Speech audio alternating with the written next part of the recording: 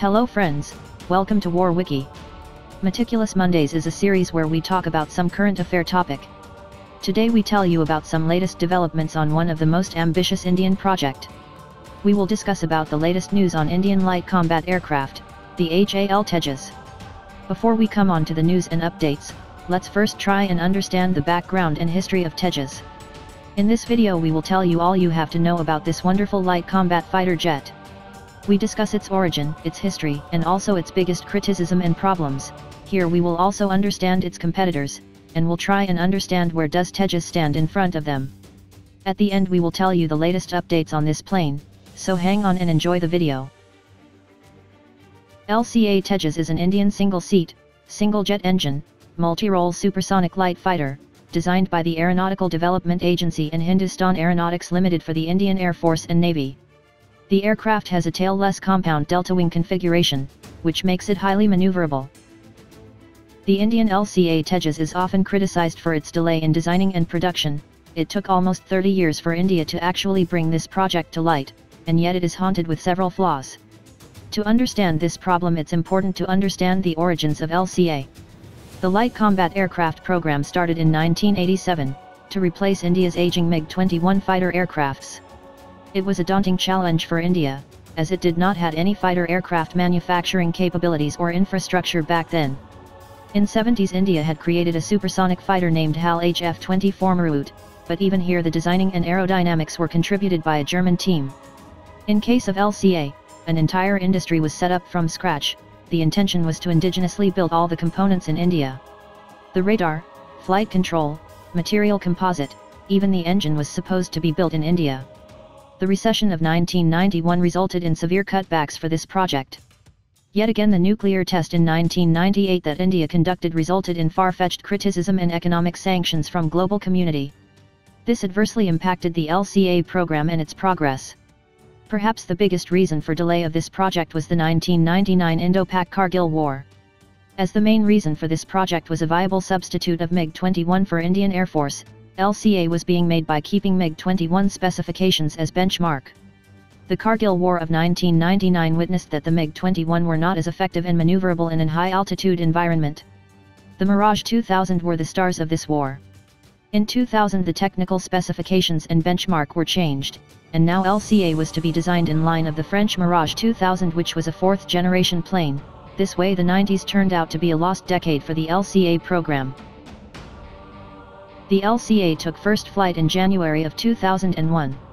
It was officially named Tejas, which means radiant in Sanskrit by the then PM Atal Bihari Vajpayee, in 2003. After several requirement changes from the IAF, fixing of glitches and multiple successful trials, the LCA Tejas was inducted in Indian Air Force in 2015. Let's try and understand some of its capabilities now. Tejas is a supersonic multi-role fighter. With a maximum speed of Mach 1.1 or 1350 km per hour, Tejas is a fighter jet that can fly with a speed greater than the speed of sound. Tejas was originally designed for air superiority role, later however in course of time it came to be designed as multi-role fighter, with primary focus on interception and air defense role, and secondary capabilities of ground attack. Its flexibility permits a variety of guided air-to-surface and anti-shipping weapons to be integrated for multi-role and multi-mission capabilities. Tejas has a pure double delta wing configuration, with no tailplanes or canard, and a single dorsal fin. The tailless compound delta platform is designed to be small and lightweight, the delta-shaped wing provides more wing surface which is an indication of better maneuverability as well as will provide more hard points for weapons. Tejas has undergone extensive wind tunnel trials. Computational fluid dynamics analysis have optimized the aerodynamic configuration for minimum supersonic drag and low wing loading. This ensures better flying capabilities and less fuel consumption. The LCA is constructed of aluminium lithium alloys, carbon fiber composites, and titanium alloy steels. The Tejas employs expensive but very effective carbon fiber composite material for 45% of its airframe. Its wings, tail fins, and fuselage all are made from CFC. This makes it light and yet strong. Less weight indicates better agility and speed, material strength is needed for better load carrying capabilities. With a load-bearing capability of up to 4,000 kg and with 7 hardpoints for the weapon, the Tejas is one of the best in its class. The high speed and high load-bearing capacity is very unique feature of this plane, This allows the LCA to take off from even short runways. Ramps as long as 480 meters are enough for it to take off. One of the best feature of this plane is its fly-by-wire system, this means that there is a computer intervention between the action of a pilot and the hardware of the plane, this helps in better response and ensures much better safety of the plane. The fly-by-wire avoids any such operation or maneuver which may result in a crash. LCA also employs state-of-the-art avionics, Tejas has a night vision goggles compatible glass cockpit. Initially Indian-made Kaveri engine was to be used in this plane, however due to several failed test and problems in development of Kaveri engine, American-made GE engines were used in 2011 and this plane was bought to light. Its newer version Mark II variants will use top-of-the-class AESA radar, which is being jointly developed by Israel and India. BrahMos NG or the BrahMos next generation, which is a shorter and a lighter version of the deadly supersonic BrahMos missile, will be used in this variants of LCA. The combination of supersonic Tejas with BrahMos supersonic cruise missile, will surely prove to be deadly. To know more about BrahMos missile, you can catch this cool video on the top of your screen. Tejas has often been criticized after being compared with F-22 Raptor, European Eurofighter, the French Rafale and even the Indian-used Sukhoi 30 MKI. This is not a fair comparison at all.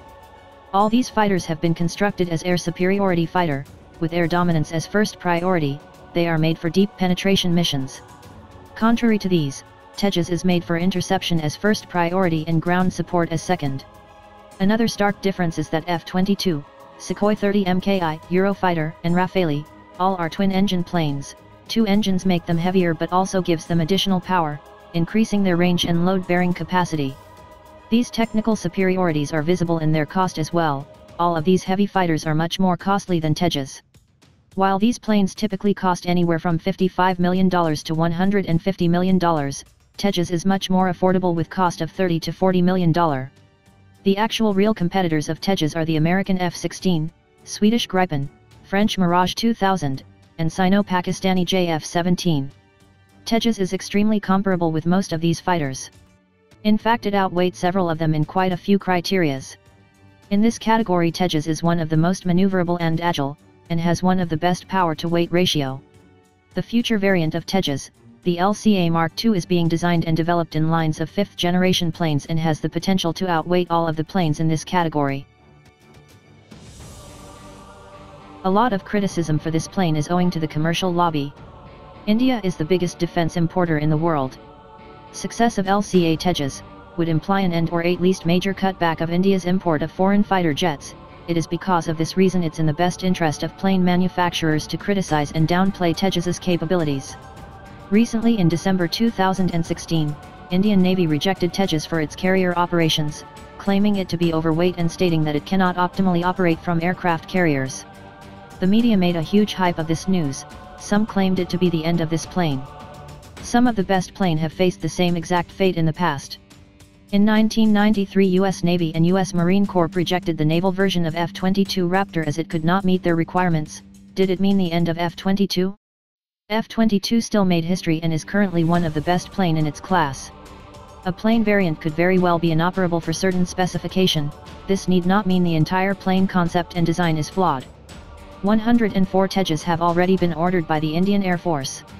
Another 130 more Tejas will be ordered in either Mark I or Mark II variants. With countries like Egypt and Sri Lanka considering its import, the future of this plane looks bright. In the latest updates regarding this fighter jet, on February 2 HAL announced that they will be setting up a second Tejas production line to boost the number of planes being produced every year. HAL already has a decent order pipeline. Timely delivery is the key for future export orders. Currently the second production line will help strengthen the 45th Squadron of IAF, the Flying Dagger Squadron is the first IAF squadron for Tejas. This news was further Sweden on February 9. A special CCS meeting chaired by the Prime Minister Narendra Modi, cleared a proposal to ramp up the production by approving third production line as well. In next few years the third production line is expected to be established in area near Nekandi in south of India.